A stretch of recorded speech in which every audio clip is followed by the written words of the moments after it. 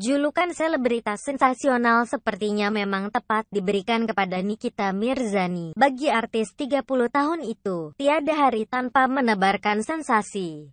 Ada saja tingkah Nikita Mirzani yang membuat orang lain geleng-geleng kepala. Tak hanya soal penampilannya, kedekatannya dengan sejumlah lelaki pun kerap mengundang kontroversi. Baru-baru ini Nikita Mirzani terlihat lengket dengan seorang lelaki tampan yang diketahui adalah Mehdi Zati, mantan suami Tata Janeta. Nikita tampak memeluk Mehdi dari belakang. Seperti yang diperlihatkan pemain film komik 8 tersebut di Instagramnya baru-baru ini, tidak diketahui ada apa antara Nikita Mirzani dengan Mehdi Zati.